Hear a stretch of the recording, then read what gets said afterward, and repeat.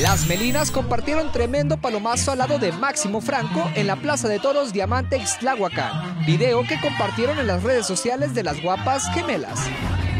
Diego Herrera se convirtió en todo un orgullo al representar a México en la Feria de Sevilla, en España. Pudimos verlo en redes sociales vestido de charro y montando a caballo. Actualmente promociona su tema Somos Ajenos.